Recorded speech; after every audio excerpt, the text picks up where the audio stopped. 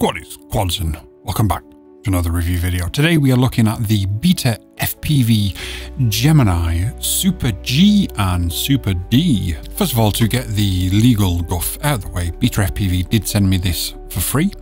They are not paying me for the review. They have not asked me to say anything specific about the review. They've not actually asked me to review it. They've just said, do you want one? And I've said, yeah, go on then. And I've used it and I feel the need to make this review video because I've got some important things to tell you. Beta FPV won't see this video before it's released and as always all thoughts, feelings and opinions in this video are mine and my seven personalities alone. On with the video. So what is the Beta FPV Gemini? To put it into really simple and straightforward terms, it's a ELRS receiver and transmitter that's like diversity, essentially. But it doesn't quite end there. It's a little bit more complex and it's a little bit, or should I say a lot more sophisticated than that. See, the beta FPV devs are constantly innovating and they've made this new system called Gemini, which like I say is essentially diversity but, it isn't. It's it's more than that, and I'll, I'll get into the details why it's more than that because we already have a Matek diversity receiver. So you might ask yourself the question, well, quads, why do I need a different receiver if it's just diversity, or why do I then need an extra transmitter module? To put into the back of my radio if it's just a, and that's the point, it's not just diversity, it's more than that. So looking at some of the specs, it's got two antennas, it's made of metal, it comes with, or it comes in the format of micro JRB, but it also comes with an adapter to convert it to the full-size JRB. The adapter is plastic, so whilst the actual transmitter is made of metal, if you're using it in a full-size radio such as the Radio Master Boxer, TX16S, Jumper T15, or anything along that size, you are going to be using a plastic adapter on the metal transmitter. I've also used it in the Radio Master Zorro, which uses the mini or micro or whatever they call it these days, JRB. And with that, you literally just slide the metal bit into the back of the radio and away you go. Now, it does use more power because of the things that it gets into and does, and, and we'll get into that. So, certainly on something like the Radio Master Zorro, if you're just using the 18650 cells, it, it is going to sort of destroy that battery life. And I did have, not, not issues with it, but I did notice a substantial drop in battery life on something like the Radio Master Zorro. Not to say it can't be used, it's just something to note. It's also got a USB-C connector to update the firmware as well, which, I mean, I've banged this drum a lot to a lot of manufacturers stop putting micro USB ports on. It's 2024. Thankfully, Beta FPV have certainly listened with this. This is a 1 watt EL RS transmitter and it steps up as always 25 50 100 250 500 and 1 watt so the packet rates are obviously 50 megahertz 100 150 250 333 500 d250 d500 f500 and f1000 it's 2.4 of this particular one, I believe there may be a 900 megahertz as well, but this is a 2.4 gigahertz. It also supports ELRS backpack. It has a fan to keep it cool. I did notice that it does get quite warm, but obviously it is metal, which dissipates the heat quite nicely, and there is a fan in there as well. So as long as that fan's working, I can't see it being any sort of issue. But just, just bear in mind it does get hot sometimes if you're running at max power, which I've never done in the UK, but I might have done in other territories, officer, it does get quite warm. And the target name, if you do need to update it in the ELRS configurator, is BETAFPV Super G Nano 2.4 TX. And if you needed to update the receiver, which I'm also demonstrating here, that's Beta FPV Super D for diversity, I would hope. The transmitter weighs 44.8 grams for anybody who wishes to know. Just on the back of the transmitter as well, before we get into the details and the nitty gritty, there are two buttons. And these buttons, although when it's set, when it comes out, it's set up that you can set it as bind mode, increasing power, uh, VTX channel, VTX settings, you can actually customize these buttons to do whatever you want with. and you do that over the Wi-Fi configurator. I'm not going to display that here because I've got to be honest, it's brilliant having physical buttons and I'd always recommend and support manufacturers who put physical buttons on things. However, I only generally use the Lua script for changing my settings. So it's great that the buttons are there just in case you need them. For instance, there's nothing worse than having a receiver that doesn't have a bind button on. Thankfully, ELRS are now moving in that direction as well. It's just not something that I'm going to demonstrate purely because it's not something that I've done. So I'll put on the screen now how we enable Gemini mode because you do need to change a few things in your radio once you've put this in.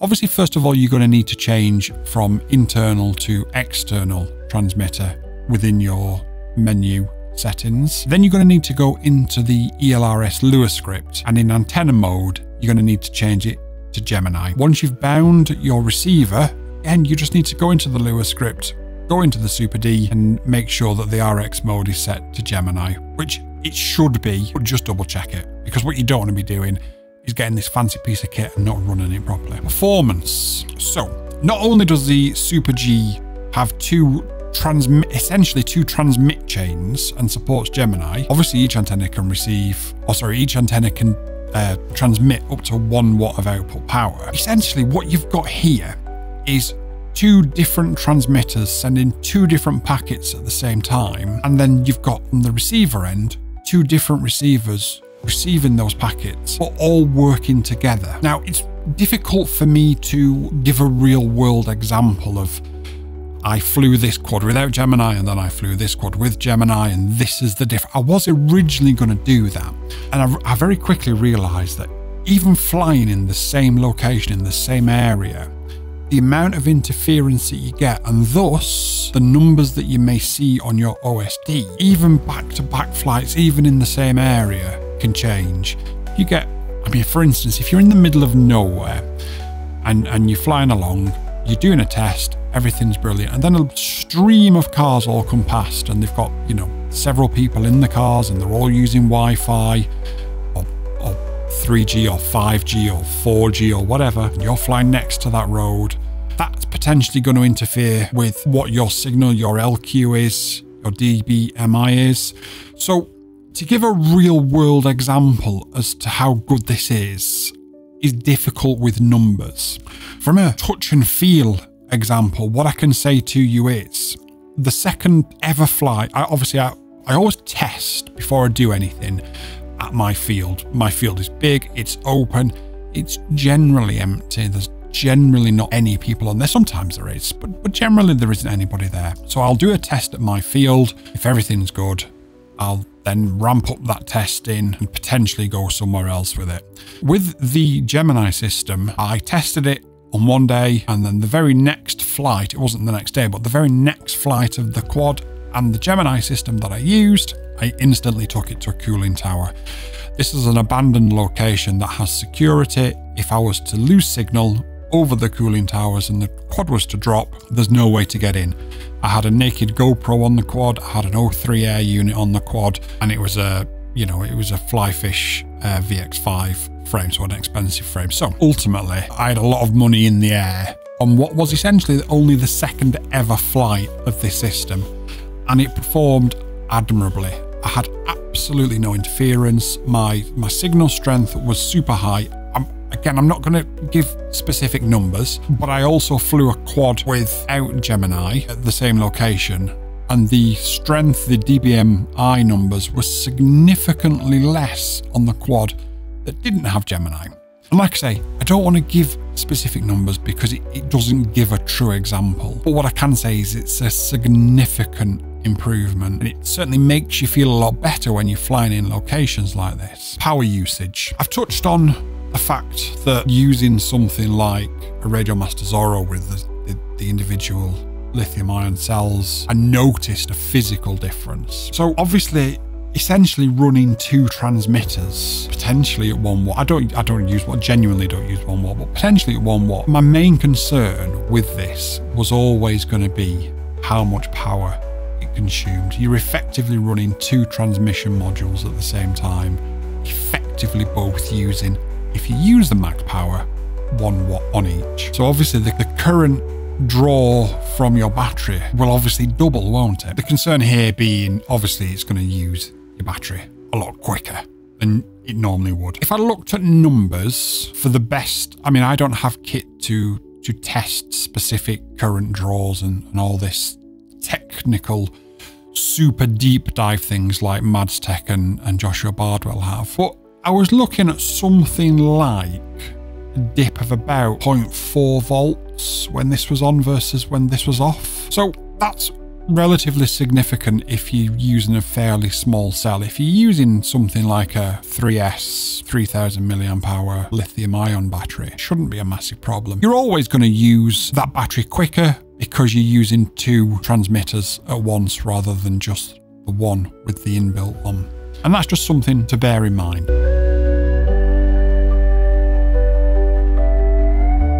But as always, the question is should you buy it? And there is a couple of points I want to raise here.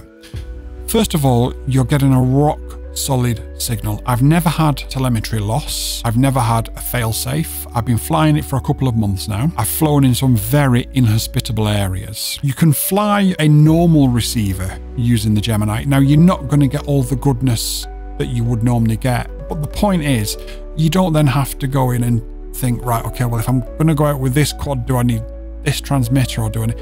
You can just leave the Gemini in, turned on, and it will work absolutely fine with a normal ELRS receiver. If I can just stop the review very quickly there, I haven't done this for a few videos, but if I can just ask you to like, comment, share and subscribe, that would be amazing and help us continue this incredible growth that we are on together.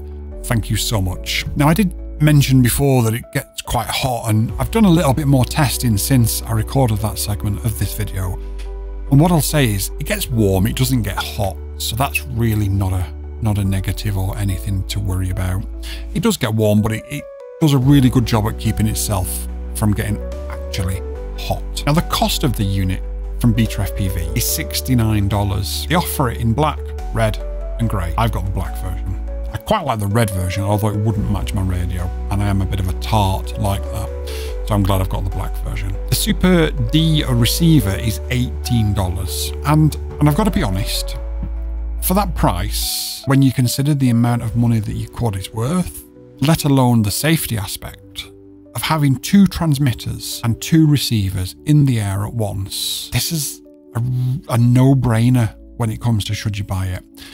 The one thing I will mention is obviously the receiver has two antennas, two full size antennas. I fitted mine to a 5 inch, not a problem. If you're looking at fitting this to something like a 3 inch or smaller, you might have to get a little bit more creative with how you mount it and how you mount those antennas.